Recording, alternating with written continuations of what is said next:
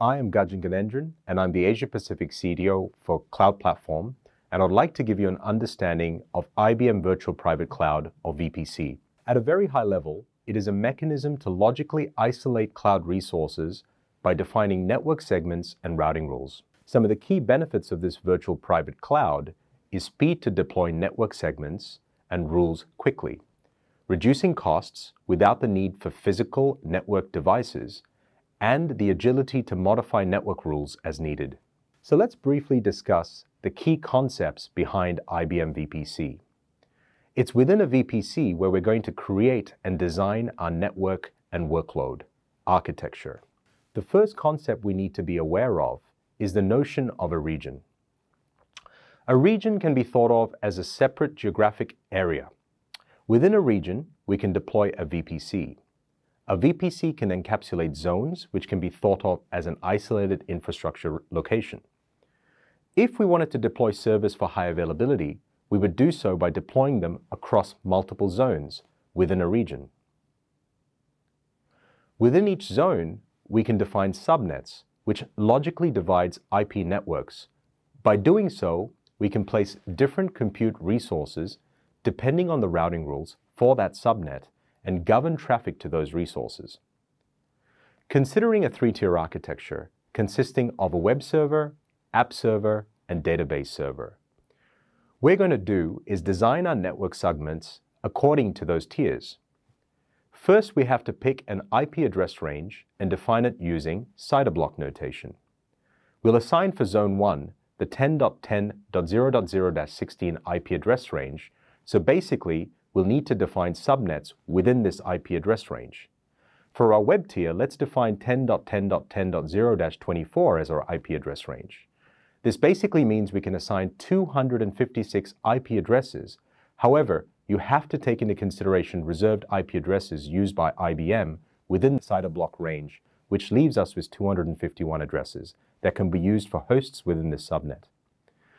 We can adjust the number of hosts by altering the net mask value. Next, we can create our application tier and database tiers with IP address range 10.10.20 10.0-24 and 10.10.30.0-24 respectively. To restrict access to the subnets and to the specific compute resources within each subnet, we can define security group and access control lists. ACLs restrict inbound and outbound traffic to a subnet, while security groups act like a virtual firewall and controls traffic to your virtual servers. In our example, we can define a security group for servers in our web tier that can accept traffic inbound from port 80 and all outbound traffic.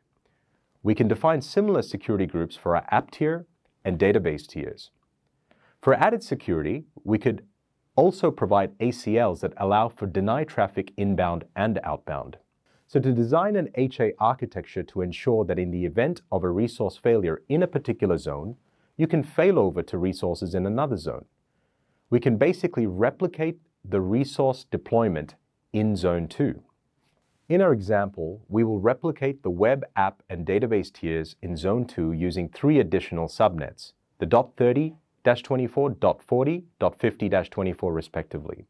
We can then extend out the security groups and apply the same ACLs and attach this to the newly created subnets, so we have similar firewall and access rules defined in Zone 2. To support user traffic and scale our environment appropriately, you can attach a public load balancer that will test backend connectivity to the web tier servers, and we can apply load balancing rules, such as round robin, to route traffic between each server based on inbound requests. For restricted subnets, we can also attach a private load balancer with similar load balancing rules without public-facing accessibility. In our example, we have a public load balancer attached to a web tier and a private load balancer situated between the web and application tiers.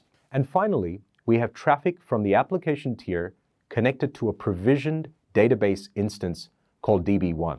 We can set up replication policies in DB1 to DB2 and failover using clustering capabilities, but we have simplified this in the diagram. So this is VPC in a nutshell. For more information, follow IBM Cloud.